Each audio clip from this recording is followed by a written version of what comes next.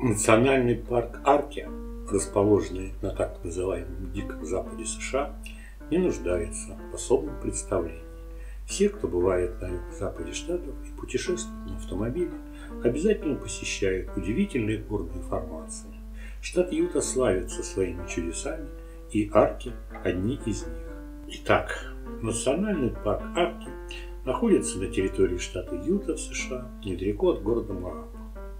В парке находится более двух тысяч природных каменных арок, а рельеф местности составлен из монолитных скал из песчаника, в которых образовались сотни башенок, пинаклов, выступающие над поверхностью огромных каменные хребты и гигантские балансирующие камни. Это чудесная территория с красными скалами уникальна, и ее ландшафт не повторяется больше нигде в мире.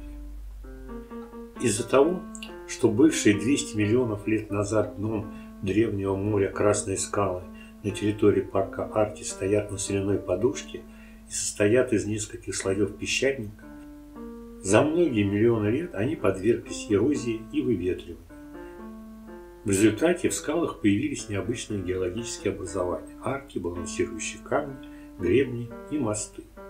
Природные арки – это геологические образования из песчаника, представляющие собой мощные каменные своды, подверженные естественным природным процессам.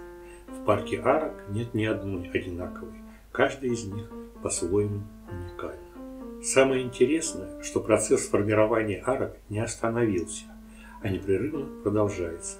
Несмотря на то, что эрозия и выветривание протекают крайне медленно, тем не менее, можно стать свидетелем образования новой арки или разрушения старой.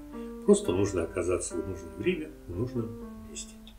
По статистике наблюдений с момента основания национального парка Аркия в 1971 году за этот период на территории парка разрушились 42 арки.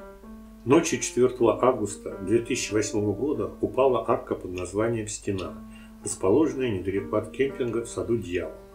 Хоть она и не была тонкой и выглядела сильно обветшалой, микроскопические трещины внутри нее, незаметные снаружи, привели к ее разрушению.